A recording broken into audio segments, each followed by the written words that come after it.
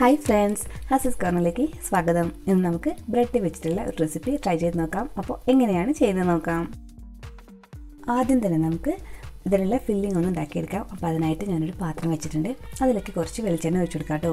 ഒരു രണ്ട് മൂന്ന് ടേബിൾ സ്പൂൺ വെളിച്ചെണ്ണ ഒഴിച്ചു കൊടുക്കാം. കുറച്ച് അത്യാവശ്യം വെളിച്ചെണ്ണ വേണം ഇതിന്.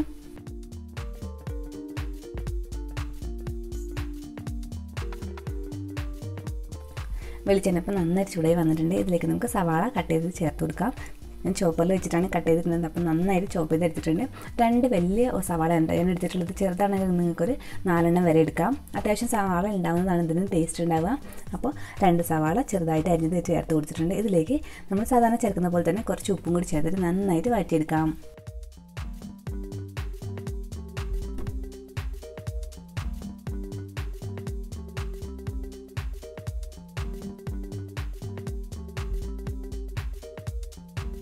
ഞാനിപ്പോൾ ഇതാ സവാളയൊക്കെ നന്നായിട്ട് വഴറ്റിയെടുത്തിട്ടുണ്ട്. ഇതിലേക്ക് നമുക്ക് പൊടികളൊക്കെ ചേർത്ത് കൊടുക്കാം.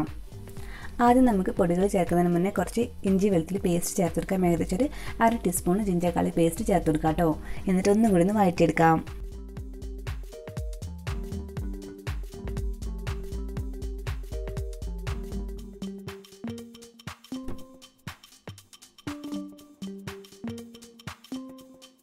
അപ്പോൾ നമ്മുടെ സവാളയൊക്കെ നന്നായിട്ട് വഴറ്റി വെച്ചിട്ടുണ്ട് ഇതിലേക്ക് നമുക്ക് മുളക് പൊടി ഒന്നര ടീസ്പൂൺ ചേർത്ത് കൊടുക്കാം. ഓരോരുത്തർ എരിവിന് അനുസരിച്ച് ചേർക്കാം ഞാനിപ്പോൾ ഒന്നര ടീസ്പൂൺ മുളക് പൊടിയാണ് ചേർത്ത് കൊടുക്കുന്നത്.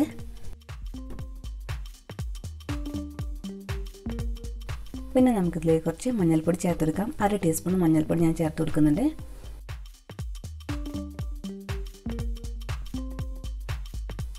പിന്നെ കുറച്ച് മല്ലിപ്പൊടിയാണ് ചേർത്ത് കൊടുക്കുന്നത്. അര ടീസ്പൂൺ തന്നെയാണ് മല്ലിപ്പൊടിയും ചേർത്ത് കൊടുക്കുന്നത്.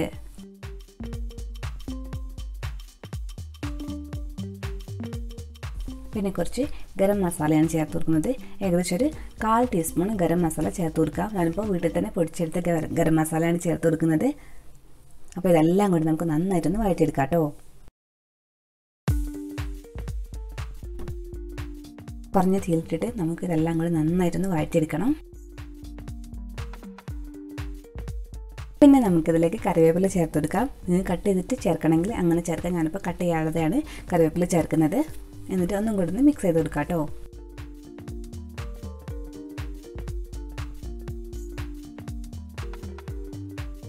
അപ്പോൾ നമ്മൾ എല്ലാം ചേർത്ത് കഴിഞ്ഞു. ഇനി നമുക്ക് നന്നായിട്ടൊന്ന് കുക്ക് ചെയ്ത് വരാൻ വേണ്ടിയിട്ട് ഒരിത്തിരി വെള്ളം ചേർത്ത് കൊടുക്കാം. ഒരുപാടൊന്നും വേണ്ട. ഒരു രണ്ട് ടേബിൾ സ്പൂൺ വെള്ളമൊക്കെ മതിയാവും. ഇത് അടച്ച് വെച്ചിട്ടൊന്ന് വേവിച്ചെടുക്കാം കേട്ടോ. കുറഞ്ഞ തീയിലിട്ട് വെള്ളം വറ്റുന്നത് വരെ നമുക്ക് അടച്ച് വെച്ചിട്ടൊന്ന് വേവിച്ചെടുക്കാം.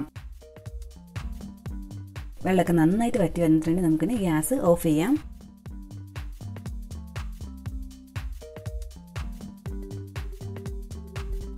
ഞാനിപ്പോൾ ഒരു പാത്രം എടുത്തിട്ടുണ്ട്. അതിലേക്ക് നമുക്ക് മൂന്ന് മുട്ട ഒഴിച്ചു കൊടുക്കാം. എന്നിട്ട് നമുക്ക് കൂടുതൽ മുട്ട വേണമെങ്കിൽ നോക്കിയിട്ട് ചെയ്യാം കേട്ടോ. അപ്പോൾ മൂന്ന് മുട്ടയാണ് ഞാനിപ്പോൾ എടുത്തിട്ടുള്ളത്. അതിലേക്ക് കുറച്ച് ചെറുതായിട്ട് അരിഞ്ഞ പച്ചമുളകും പിന്നെ മല്ലി മലയിലല്ലേ അതും ചെറുതായിട്ട് അരിഞ്ഞത് ചേർത്ത് കൊടുക്കാം.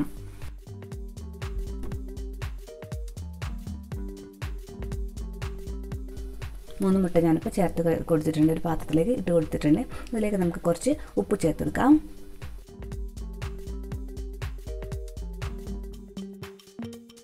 എന്നിട്ട് നന്നായിട്ട് ബീറ്റ് ചെയ്തെടുക്കാം കേട്ടോ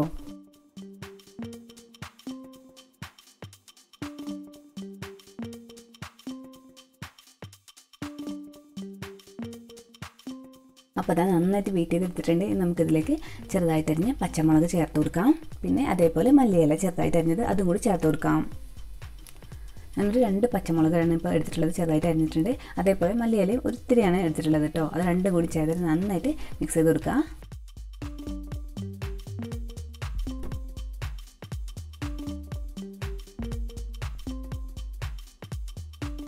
പിന്നെ ഞാനിപ്പോൾ എടുത്തിട്ടുള്ളത് ഒരു മൂന്ന് മുട്ട തന്നെ പുഴുങ്ങി അത് ചെറുതായിട്ട് കട്ട് ചെയ്ത് വെച്ചിട്ടുണ്ട്. നമുക്ക് വലുപ്പ കട്ട് ചെയ്യുന്നത് വേണമെങ്കിൽ നമ്മൾ ഇഷ്ടത്തിന് കട്ട് ചെയ്യാം കേട്ടോ. ഞാനിപ്പോൾ ഒരു ഒരു മുട്ടേനെ ഒരു ആറ് കഷ്ണത്തോളം ആക്കിയിട്ടുണ്ട്. പിന്നെ ഒരു പാത്രം എടുക്കുക. അതിലേക്ക് കുറച്ച് നെയ്യ് ഒഴിച്ചു കൊടുക്കുക കേട്ടോ. എന്നിട്ട് പാത്രം നന്നായിട്ട് നെയ്യ് നെയ്യിൽ വെച്ചിട്ട് നന്നായിട്ട് നെയ്യ് കൊണ്ട് നന്നായിട്ട് തടവി എടുക്കുക കേട്ടോ. നെയ്യ് അത്യാവശ്യം വേണം കേട്ടോ. ഇല്ലെങ്കിൽ നമുക്ക് പാത്രത്തിൽ നിന്ന് വിട്ട് കിട്ടാൻ കുറച്ച് ബുദ്ധിമുട്ടായിരിക്കും. അപ്പോൾ ഒരു ഒന്ന് രണ്ട് ടീസ്പൂൺ നെയ്യ് അങ്ങ് ചേർത്ത് കൊടുക്കുക. നന്നായിട്ട് പാത്രം തടവി കൊടുക്കുക. ഇനി നമുക്ക് ഇതൊന്ന് സെറ്റ് ചെയ്ത് വെക്കണം. അതിനായിട്ട് ഞാനിപ്പോൾ പുഴുങ്ങിയ കോഴിമുട്ട എടുത്ത് വെച്ചിട്ടുണ്ട്. പിന്നെ നമ്മുടെ മുട്ടേന്റെ മിക്സ് എടുത്തിട്ടുണ്ട്. പിന്നെ കുറച്ച് ബ്രെഡാണ് എടുത്തിട്ടുള്ളത്. അതിന്റെ സൈഡൊക്കെ കട്ട് ചെയ്ത് വെച്ചിട്ടുണ്ട്. അപ്പോൾ ബ്രെഡ് നമ്മൾ ഉണ്ടാക്കി വെച്ച് മുട്ടേന്റെ കൂട്ടിൽ ഓരോ ബ്രെഡായിട്ട് മുക്കിയെടുത്തിട്ട് ഇതേപോലെ വെച്ച് കൊടുക്കാം. ഒരു പകുതി ഭാഗം താഴത്തേക്കും കുറച്ച് പകുതി ഭാഗം മുകളിലേക്കും വരുന്ന രീതിയിൽ വെച്ച് കൊടുക്കാം കേട്ടോ അപ്പോൾ അടുത്ത ബ്രെഡ് വെക്കുന്ന സമയത്ത് തൊട്ടടുത്ത് തന്നെ വെച്ച് കൊടുക്കാൻ ശ്രദ്ധിക്കാം. ഗ്യാപ്പ് ഉണ്ടാവാതെ വെച്ച് കൊടുക്കാം കേട്ടോ അപ്പോൾ എല്ലാ ബ്രെഡും നമുക്ക് ഇതേപോലെ തന്നെ ചെയ്തെടുക്കാം. പിന്നെ നമ്മൾ ഉപയോഗിക്കുന്ന മുട്ടന്റെ അളവൊക്കെ ഇല്ലേ നമ്മൾ ഏത് പാത്രമാണ് എടുക്കുന്നതെന്ന് വെച്ചാൽ അതിന്റെ വലുപ്പത്തിനനുസരിച്ചായിരിക്കും നമ്മൾ മുട്ടന്റെ ബ്രെഡിന്റെ അളവ് നമുക്ക് വരിക. എനിക്കിപ്പോൾ അത്യാവശ്യം വലിയൊരു പാത്രമായിരുന്നു ഇത്. അതുകൊണ്ട് കുറച്ചധികം ബ്രെഡും മുട്ടയും ഉപയോഗിക്കേണ്ടി വന്നിട്ടുണ്ട്. ബാക്കിയുള്ള ബ്രെഡുകൾ മുഴുവനും ഇതേപോലെ തന്നെ ചെയ്തെടുക്കാം. അപ്പോൾ നമ്മൾ മുട്ടക്കൂട്ട് കഴിഞ്ഞിട്ടുണ്ട് കേട്ടോ അപ്പോൾ നമുക്ക് മുകളിലത്തെ ലെയർ വെക്കണമെങ്കിൽ നമുക്ക് വേറെ മുട്ടേന്റെ കൂട്ടുന്നുണ്ട് റെഡിയാക്കി എടുക്കാം അപ്പോൾ താഴത്തെ ലെയറിന് തന്നെ മൂന്ന് മുട്ടയും ഒരു അഞ്ചെട്ട് ബ്രെഡോളം വന്നിട്ടുണ്ട്. പിന്നെ നമുക്ക് എന്താ ചെയ്യേണ്ടതെന്ന് വെച്ചാൽ നമ്മൾ നേരത്തെ വേവിച്ച് വെച്ച് മിക്സ് ഇല്ലേ മസാല അത് നമുക്ക് ഇതിന്റെ മുകളിലേക്ക് വെച്ചെടുക്കാം അത് ഫസ്റ്റ് നിന്ന് ഡിവൈഡ് ചെയ്തിട്ട് വെക്കാം കേട്ടോ അപ്പം നമുക്ക് താഴെ ഭാഗത്തിലും വെക്കണം പിന്നെ മുകളിൽ ഭാഗത്തിലും വെക്കണം. അപ്പോൾ അത് ഡിവൈഡ് ചെയ്ത് വെച്ചാൽ കുറച്ചും കൂടി ഈസി ആയിരിക്കും. അപ്പോൾ പകുതി പോഷൻ ഞാനിപ്പോൾ വെച്ച് കൊടുക്കുന്നുണ്ട്. നന്നായിട്ടൊന്ന് സ്പ്രെഡ് ചെയ്ത് കൊടുക്കാം കേട്ടോ സൈഡിലേക്ക് അധികം വേണമെന്നില്ല സെന്ററിലാക്കിയിട്ട് കുറച്ച് ഗ്യാപ്പ് ഇട്ടിട്ട് ഇതേപോലെ തന്നെ ഫിൽ ചെയ്ത് വെച്ച് കൊടുക്കാം കേട്ടോ. അപ്പോൾ ഇതാ മസാലയൊക്കെ ഞാൻ വെച്ച് കൊടുത്തിട്ടുണ്ട്. ഇനി നമുക്ക് നമ്മൾ പുഴുങ്ങി വെച്ച് കട്ട് ചെയ്ത് വെച്ച് നമ്മൾ മുട്ടയില്ലേ അതും വെച്ച് കൊടുക്കാം. അത് ഫുള്ളായിട്ട് അങ്ങ് വെച്ച് കൊടുക്കാം കേട്ടോ. ഞാനിപ്പോൾ മൂന്ന് മുട്ടയാണ് എടുത്തിട്ടുള്ളത്. നിങ്ങൾക്ക് കൂടുതൽ വേണമെന്ന് വെച്ചാൽ കൂടുതൽ ഉപയോഗിക്കാം. പിന്നെ വലുപ്പത്തിന് നമ്മൾ കട്ട് ചെയ്യുന്ന സമയത്ത് കുറച്ചും കൂടി ചെറുതാക്കണം എന്ന് വെച്ചാൽ ചെറിയ കഷ്ണങ്ങളാക്കാം. കുറച്ചും കൂടി വലിയ കഷ്ണങ്ങളാക്കണം എന്ന് വെച്ചാൽ മുട്ട വലിയ കഷ്ണങ്ങളാക്കിയിട്ട് കട്ട് ചെയ്തിട്ട് വെച്ച് കൊടുത്താൽ മതി കേട്ടോ അപ്പോൾ എല്ലാ മുട്ടയും ഞാൻ ഇതേപോലെ തന്നെ നന്നായിട്ട് വെച്ച് കൊടുക്കുന്നുണ്ട്.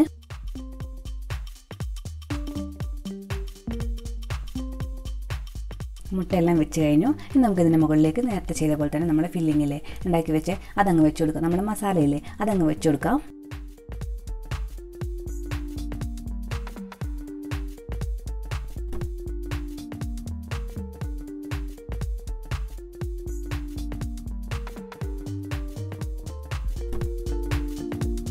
മസാല ഇപ്പോൾ നന്നായിട്ട് വെച്ച് കൊടുത്ത് കഴിഞ്ഞിട്ടുണ്ട് ഇനി നമുക്ക് സ്പൂൺ വെച്ചിട്ട് നിന്ന് നന്നായിട്ട് സ്പ്രെഡ് ചെയ്ത് കൊടുക്കാം കേട്ടോ. അതിന്റെ മുകളിലേക്ക് നന്നായിട്ട് സ്പ്രെഡ് ചെയ്ത് കൊടുക്കുക. ഫസ്റ്റിന് നമ്മൾ മസാല എടുക്കുന്ന സമയത്ത് രണ്ടായിട്ട് ഭാഗിച്ചാൽ മതി. അപ്പോഴും കൂടുതൽ എളുപ്പമുണ്ടാവും നമുക്ക് വെച്ച് കൊടുക്കാൻ. മുകൾ ഭാഗം മുഴുവൻ ഞാൻ നന്നായിട്ട് സ്പ്രെഡ് ചെയ്ത് കൊടുത്തിട്ടുണ്ട്. ഞാനിപ്പം മൂന്ന് മുട്ടയും കൂടി എടുത്തിട്ടുണ്ട്. അതിലേക്ക് പച്ചമുളകും നമ്മൾ മല്ലിയിലേന്റെ അതും കൂടി ചേർത്ത് കൊടുത്തിട്ടുണ്ട്. എക്സ്ട്രാ എടുത്തിട്ടില്ല കേട്ടോ. നമ്മൾ ഇട്ട പച്ചമുളകിലേക്ക് തന്നെ അതിന് കുറച്ച് ബാക്കിയുണ്ട്. അപ്പോൾ അതിലേക്ക് മുട്ടയും കുറച്ച് ഉപ്പും ചേർത്തിട്ട് ജസ്റ്റ് മിക്സ് ചെയ്തെന്ന് മാത്രമേ ഉള്ളൂ. അപ്പോൾ അതിൽ ബാക്കിയുള്ള കുറച്ച് ബ്രെഡും കൂടി എടുക്കുക. ഒരു അഞ്ചെട്ട് കഷ്ണം കൂടി ബ്രെഡ് എടുക്കുക. എന്നിട്ട് നമ്മൾ താഴെ ലെയറിൽ ചെയ്ത് അതേപോലെ തന്നെ മുകളിലും ചെയ്ത് കൊടുക്കുക കേട്ടോ. പക്ഷേ എന്താണെന്ന് വെച്ചാൽ നമ്മൾ ബ്രെഡ് വെക്കുന്ന സമയത്ത് താഴത്തെ ബ്രെഡും മുകളിലത്തെ ബ്രെഡും തമ്മിൽ കണക്ഷൻ ഉണ്ടാവണം. നമ്മൾ നന്നായിട്ടൊന്ന് യോജിപ്പിച്ച് വെക്കാൻ പരമാവധി ശ്രദ്ധിക്കുക. എന്നാൽ മാത്രമേ നമുക്ക് കുക്ക് ചെയ്ത് വരുന്ന സമയത്ത് നന്നായിട്ട് കിട്ടുള്ളൂ അപ്പോൾ അത് പ്രത്യേകം ശ്രദ്ധിക്കുക കേട്ടോ. അപ്പോൾ എല്ലാ ബ്രെഡും നമുക്ക് ഇതേപോലെ തന്നെ വെച്ച് കൊടുക്കാം. അപ്പോൾ ഗ്യാപ്പ് വരാതെ നോക്കിയാൽ തന്നെയാണ് ഇത് എളുപ്പം ഉണ്ടാവുക കുഞ്ഞു കുഞ്ഞു പീസുകളൊക്കെ വെച്ചിട്ട് ഞാനിപ്പോൾ ഇതാ എക്സ്ട്രാ പീസുകളൊക്കെ വെച്ചിട്ട് ഫുള്ളായിട്ട് കവർ ചെയ്ത് വെച്ചിട്ട് മുകൾ ഭാഗം. എന്നിട്ട് നന്നായിട്ട് ഇതേപോലെ അരി വെക്കുന്നത് നന്നായി ഒന്ന് പ്രസ് ചെയ്ത് കൊടുക്കുക. അപ്പോൾ മുകളിലത്തെ ബ്രെഡും താഴത്തെ ബ്രെഡും കൊണ്ട് നമ്മളൊരു കണക്ഷൻ ഉണ്ടാവും. നമുക്കിനി ഇതൊന്ന് നന്നായിട്ട് കുക്ക് ചെയ്യണം അതിനായിട്ട് ഞാനിപ്പോൾ പഴയ നോൺ സ്റ്റിക്ക് പാത്രം ഇട്ടിട്ടുണ്ട് അതിന്റെ മുകളിലേക്ക് നമ്മൾ റെഡിയാക്കി വെച്ച് പാൻ വെച്ച് കൊടുക്കാം. എന്നിട്ട് അടച്ച് വെച്ചിട്ട് കുറച്ച് നേരം ഒരു പത്ത് മിനിറ്റ് ലോ ഫ്ലെയിമിലിട്ട് നമുക്കൊന്ന് കുക്ക് ചെയ്യാം കേട്ടോ പത്ത് പതിനഞ്ച് മിനിറ്റ് അത് നമ്മൾ സമയം നോക്കി ഇതാ- ഇതാക്കുക. പത്ത് മിനിറ്റ് മതിയാവും മാക്സിമം അടിഭാഗം നന്നായിട്ട് വെന്ത് വന്നിട്ടുണ്ട്. നമുക്കിതൊന്ന് തിരിച്ചിട്ട് കൊടുക്കണം. അതിനായിട്ട് ഞാൻ വേറെ ഒരു പാത്രം എടുത്തിട്ടുണ്ട്. അതിൽ നന്നായിട്ട് നെയ്യ് തലവി കൊടുക്കണം കേട്ടോ. നമുക്ക് തിരിച്ചിട്ട് കൊടുക്കാം. ഇതാ അടിഭാഗം നന്നായിട്ട് വെന്ത് വന്നിട്ടുണ്ട്. നല്ല കളറൊക്കെ വന്നിട്ടുണ്ട്. അപ്പോൾ ഉണ്ടാക്കാൻ സൂപ്പർ ഈസിയാണിത് ഇത് തിരിച്ചിട്ട് കൊടുത്തിട്ട് നമുക്ക് കുറച്ച് നേരം മതി കേട്ടോ. പത്ത് മിനിറ്റ് ഒന്നും വേണ്ട. ഏകദേശം രണ്ട് മൂന്ന് മിനിറ്റ് ആകുമ്പോൾ തന്നെ നമുക്ക് എടുക്കാൻ പറ്റും. ഏകദേശം ഒരു മൂന്ന് മിനിറ്റ് ആയിട്ടുണ്ട് നമുക്ക്. ഗ്യാസ് ഓഫ് ചെയ്യാം. വേറൊരു പാത്രം എടുത്തിട്ടുണ്ട്. അതിലേക്ക് നമ്മൾ നമുക്ക് തിരിച്ചിട്ട് കൊടുക്കാം. അപ്പോൾ നമ്മുടെ പപ്സ് പോലെ ഇവിടെ റെഡി ആയിട്ടുണ്ട്.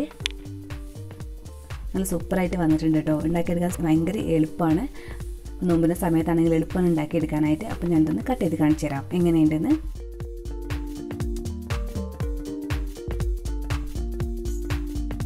കുട്ടികൾക്കൊക്കെ ഒരുപാട് ഇഷ്ടമാകുന്നൊരു റെസിപ്പിയാണ് ഇത് ഇപ്പോൾ പപ്സ് ഉണ്ടാക്കുന്നതോ അല്ലെങ്കിൽ വേറെ നമ്മൾ ചട്ടിപ്പത്തിൽ ഉണ്ടാക്കുന്നതിന് ബുദ്ധിമുട്ടുകളൊന്നും തന്നെ ഇതിനില്ല. നല്ല എളുപ്പമാണ് ഉണ്ടാക്കിയെടുക്കാൻ. കുറച്ചൊന്ന് ശ്രദ്ധിച്ചാൽ മാത്രം മതി. ആർക്ക് വേണമെങ്കിലും ഉണ്ടാക്കിയെടുക്കാൻ പറ്റിയ നല്ലൊരു റെസിപ്പിയാണിത്. ഉൾവശം ഇതേപോലെ ഉണ്ടാവും. അപ്പോൾ ട്രൈ ചെയ്ത് നോക്കണം. മുമ്പിന് ഉണ്ടാക്കിയെടുക്കാൻ എളുപ്പമാണ്. റെസിപ്പി ഇഷ്ടമായിട്ടുണ്ടെങ്കിൽ അപ്പോൾ എന്തായാലും ട്രൈ ചെയ്ത് നോക്കണം. സൂ ഭയങ്കര എളുപ്പമാണ് ഉണ്ടാക്കിയെടുക്കാൻ. ഒരുപാട് സമയത്തിന്റെ ആവശ്യമില്ല കേട്ടോ. പെട്ടെന്ന് തന്നെ നമുക്ക് റെഡിയാക്കി എടുക്കാൻ പറ്റും. വീഡിയോ ഇഷ്ടമായിട്ടുണ്ടെങ്കിൽ ഫ്രണ്ട്സിനൊക്കെ ഷെയർ ചെയ്യുക. ഇതേപോലുള്ള ഈസിയും ടേസ്റ്റിയുള്ള റെസിപ്പി ആയിട്ട് നമുക്ക് വീണ്ടും കാണാം. Thanks for watching